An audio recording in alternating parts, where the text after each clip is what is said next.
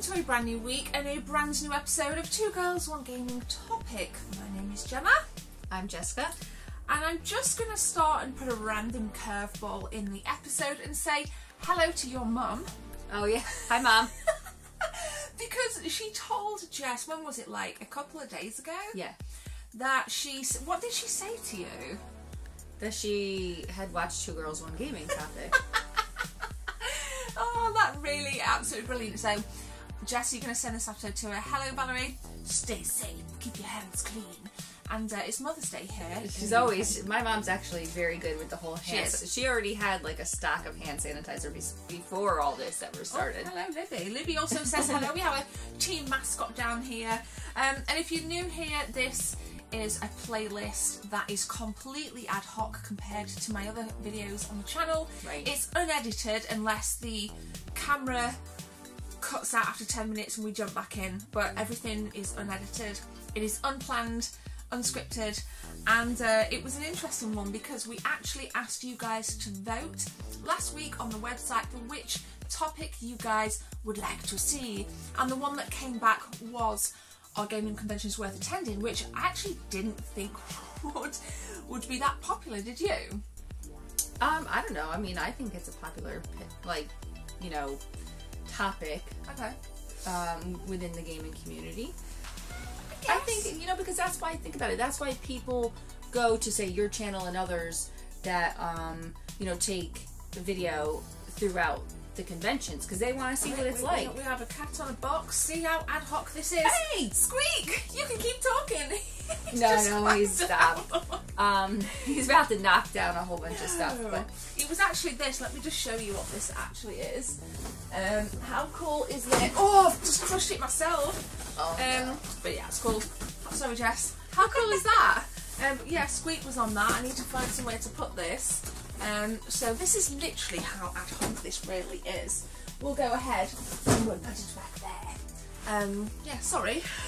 I was just saying that that's why people watch videos of Yeah, what the conventions are like to see, um, you know, are they worth going to, and then also some just can't make it to them, so you know, it's their way of. Squeak, what is wrong with you? What's going on? Yeah, I think that's a good point actually. I think for those that can't attend conventions or retro gaming markets, it is a really nice kind of time capsule to have uh, different videos of the event, different uh, perspectives of the event, you know. Yes, different perspective because sometimes you're caught in line Right. and you know you can't see as much as you want to. Right, absolutely. Sorry to interrupt. No, no, no, it's cool. It's absolutely fine. So I think what's kind of sticks out for me is like, so yeah, are they worth attending? But also kind of, are they too many? So I think I'm going to kind of have that in as a little sub arm to the discussion. Um, my cat's crawling all over my PC, which is not my favourite thing in the world. Um, Squeak, what's this? Come here. We're filming an ad hoc episode of Two Girls One Gaming Topic. Why don't you come and join us? He's looking at me like this. Come on. Did you hear him? Come here, what's this? He's coming. Come here! Yay! There we Oh, go. Look at this handsome boy. Just put him in your lap and cuddle him. He'll love it. I will, I will. Come here. So we're going to get into it, guys. Um, roll the intro.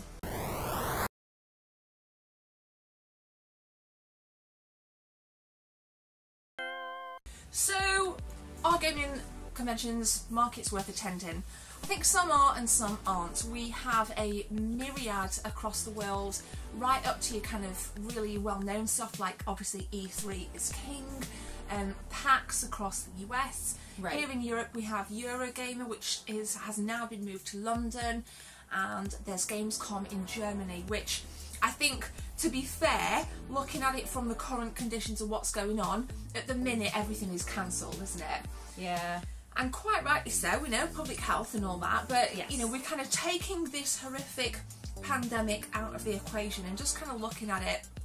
I don't think every every every convention is worth attending. So, you know, like for me last year I went to Gamescom and there were four different halls, like I was saying to you, like Sony, Microsoft, Nintendo, retro indie, so much stuff to see, so many speakers that I actually said I don't even want to bother with Eurogamer anymore. Right, because I mean, once you've kind of seen all that, um, you're gonna have the same games that um, want to be demoed and things like that at um, Eurogamer.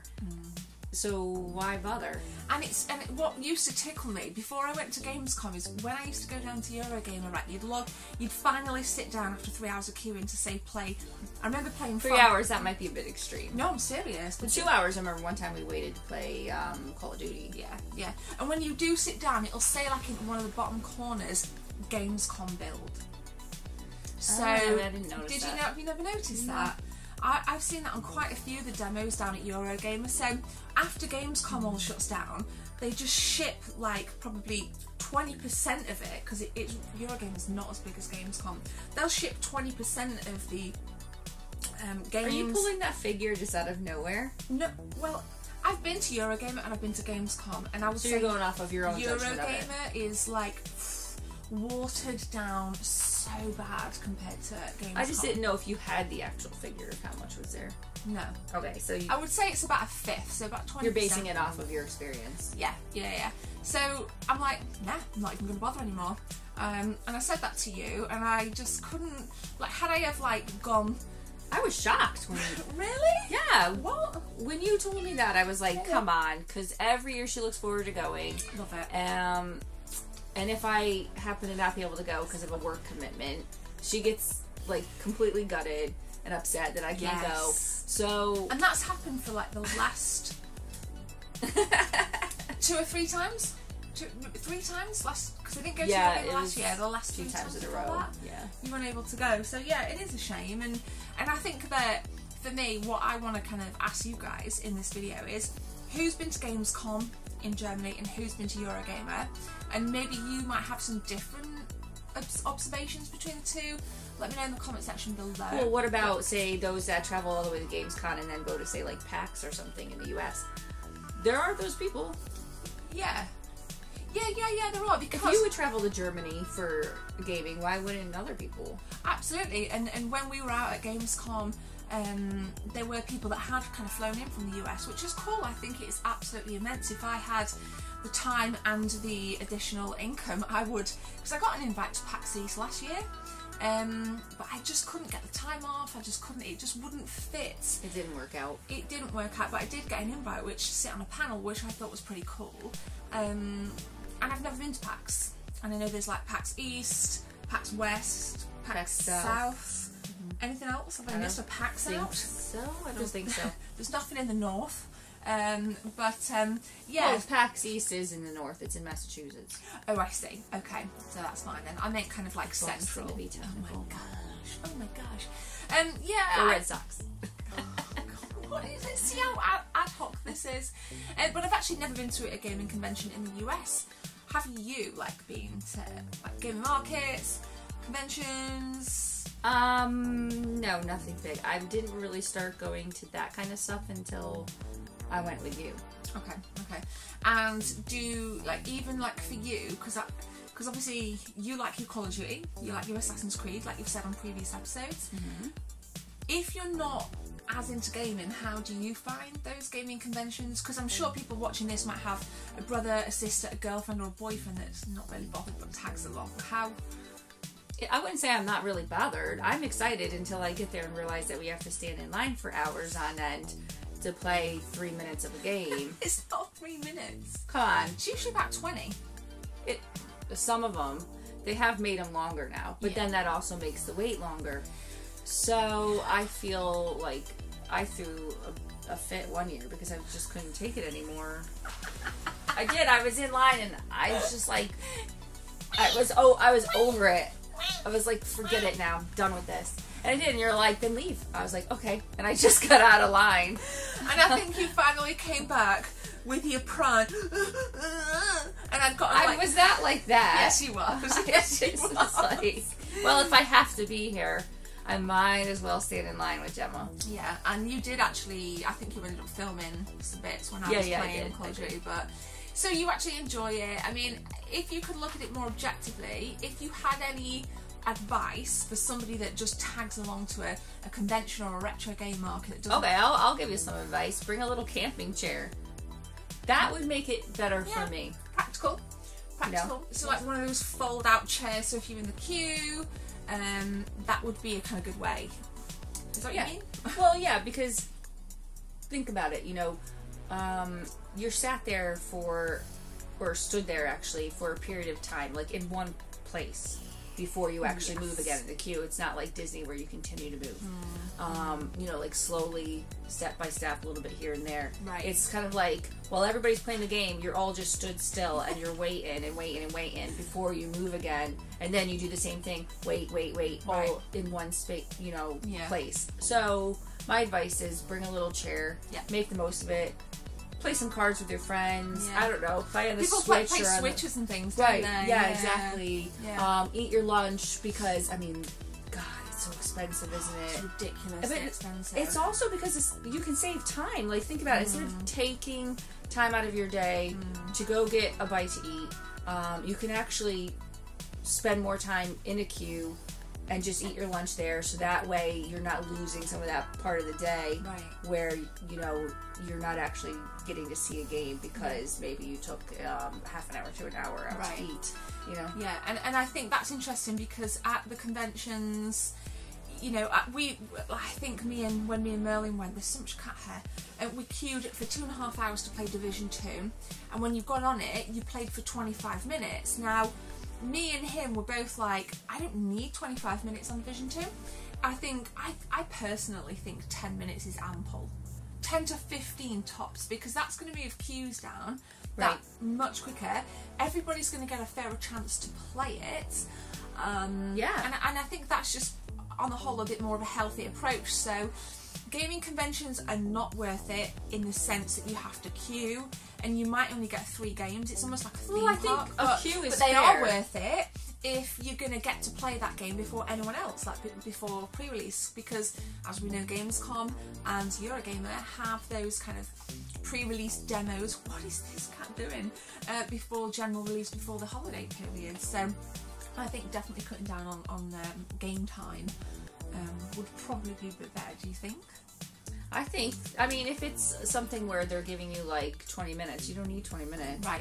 to try out a game. Because let's face it, this is supposed to be just like a demo to get a taste of the game, you know. Yes. Um, and because there are such long queues, now I get it. There's going to be long queues. I expect there to be a queue. I think that that's you know obviously fair. It's not like you should just walk up to a game and be able to get in. If you could, nobody's interested in Like it. in the retro stuff, you know, go um, yeah. Um, so, yeah, cut it down a bit. yeah. So that everybody has a, a bit more time. yeah. But, um, I, I, I- I think just kind of skipping on from that, can I just say, like, retro gaming markets, I think they are amazing places to go. Yeah. Um, one thing that I, I think could be improved on is the temperature.